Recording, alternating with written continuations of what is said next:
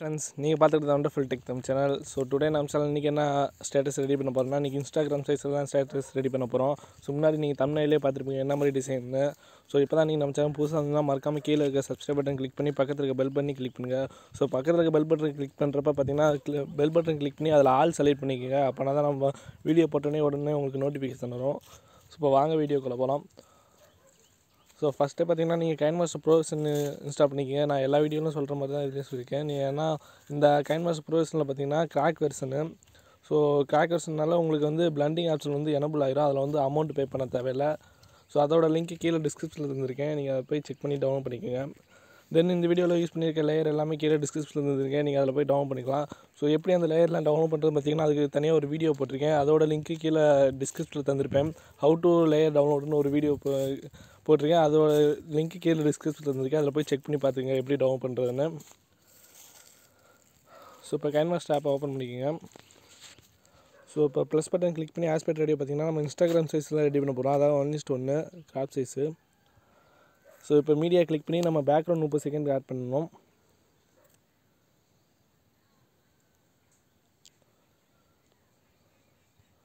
So அதுக்கப்புறம் பார்த்தீங்கன்னா நீங்கள் டவுன்லோட் பண்ணி வச்சுருக்க லேயர் எந்த ஃபோல்டரில் இருக்கோ அதை போய் செலக்ட் பண்ணிக்கோங்க. ஸோ லேயர் கிளிக் பண்ணி மீடியா கிளிக் பண்ணி ஸோ நீங்கள் எந்த ஃபோல்டரில் லேயர் டவுன்லோட் பண்ணி வச்சுருக்கீங்களோ அதை போய் செலக்ட் பண்ணிக்கோங்க. தென் அந்த லேயரை கிளிக் பண்ணி ஸ்ப்ளிட் ஸ்க்ரீனில் போய் ஃபுல் சைஸ் அதாவது ஆஃபில் இருக்கும் ஆஃப்க்கு பக்கத்தில் ஃபுல் சைஸ் இருக்கும் அதை செட் பண்ணிக்கோங்க. ஸோ இதுக்கப்புறம் என்ன பண்ணணும் பார்த்தீங்கன்னா உங்களுக்கு தேவையான இமேஜ் உங்களோட இமேஜ் செலக்ட் பண்ணிக்கோங்க. ஸோ இதையும் நீங்கள் ஸ்ப்ளிட் ஸ்க்ரீனில் போய் ஃபுல் சைஸ் வச்சுட்டு நீங்கள் அட்ஜஸ்ட்மெண்ட் பண்ணிக்கோங்க. உங்களுக்கு எவ்வளோ தூரம் ஃபோட்டோ வேணுங்கிறத அட்ஜஸ்ட் பண்ணிவிட்டு நெட் நெக்ஸ்ட்டு இந்த இமேஜ் அப்படியே முப்பது செகண்ட் காட் பண்ணிடுங்க. ஸோ இதுக்கப்புறம் என்ன பண்ணணும் பார்த்தீங்கன்னா நீங்கள் இமேஜை கிளிக் பண்ணி பிளண்டிங் ஆப்ஷனில் போய் ஸ்க்ரீன் கொடுத்துருங்க. ஸோ இப்போ எல்லாம் பர்ஃபெக்டாக வந்துடுச்சு ஸோ இதுக்கப்புறம் என்ன பண்ணணும் பார்த்தீங்கன்னா உங்களுக்கு நீங்கள் ஆடியோ தனியாக செலக்ட் பண்ணிக்கங்க. நான் அந்த லேயரோட எந்த ஆடியோவும் கொடுக்கல. ஸோ நீங்கள் ஆடியோ ஃபோட்டோவில் கிளிக் பண்ணி ஸோ உங்களுக்கு பிடிச்ச ஆடியோ நீங்கள் எந்த ஃபோட்டோவில் வச்சுருக்கீங்களோ அதை செலக்ட் பண்ணிக்கோங்க. ஸோ நெக்ஸ்ட் இதோட ஒரு பிஎன்ஜி இமேஜ் ஆட் பண்ணலாம். ஸோ நான் பிஎன்ஜி இருக்க இருக்க எல்லா பிஎன்ஜி இமேஜையும் மொத்தமாக டவுன் பண்ணுறது எப்படின்னு அதுக்கும் ஒரு வீடியோ போட்டிருக்கேன். அதோட லிங்க்கும் கீழே டிஸ்கிரிப்ஷனில் இருந்திருக்கேன். இப்போ நீங்கள் ஸ்க்ரீனில் பார்த்துருக்க எல்லா பிஎன்ஜியும் நீங்கள் போய் டவுன் பண்ணிக்கலாம். ஸோ அதோட லிங்க்கு கீழே டிஸ்கிரிப்ஷனில் வந்திருக்கேன் நீங்கள் போய் செக் பண்ணிக்கோங்க. ஸோ உங்களுக்கு பிடிச்ச பிஎன்ஜி இமேஜ் ஆட் பண்ணிக்கோங்க.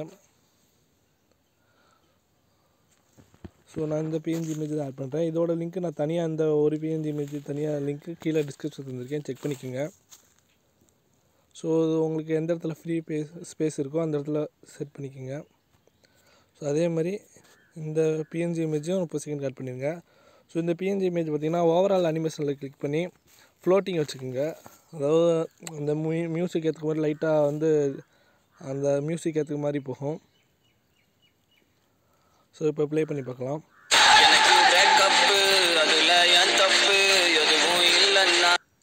ஸோ எல்லாமே இப்போ பர்ஃபெக்டாக செட் பண்ணியாச்சு. நெக்ஸ்ட் இது எப்படி சேவ் பண்ணுறதுன்னு பார்க்கலாம்.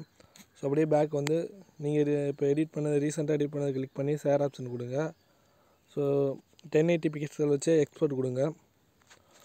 ஸோ எக்ஸ்போர்ட்டாக பார்த்தீங்கன்னா த்ரீலேருந்து ஃபைவ் மினிட்ஸ் ஆகும். ஸோ ஓகே கேஸ் இந்த வீடியோவில் உங்களுக்கு ஏதாச்சும் டவுட் இருந்துச்சுன்னா கீழே கமெண்ட் பாக்ஸில் கமெண்ட் பண்ணுங்கள் ஸோ நெக்ஸ்ட் என்ன மாதிரி லிரிக்ஸ்லாம் எப்படி எடிட் பண்ணுறதுன்னு வீடியோ போடணும்னா கீழே கமெண்ட் பாக்ஸில் சொல்லுங்கள் நெக்ஸ்ட் வீடியோ அந்த மாதிரி ட்ரை பண்ணுறேன் ஸோ ஓகே கேஸ் இப்போ தான் நீங்கள் நம்ம சேனல் புதுசாக இருந்தால் மறக்காமல் கீழே இருக்க சப்ஸ்கிரைப் பட்டன்லாம் கிளிக் பண்ணிக்கோங்க. ஸோ நம்ம ரெகுலராக வீடியோ போட்டுட்ருக்கோம் ஸோ உங்களுக்கு உடனே நோட்டிஃபிகேஷன் வரும். ஸோ நெக்ஸ்ட் வீடியோவில் சந்திக்கிறேன். அது வரைக்கும் பாய் பாய்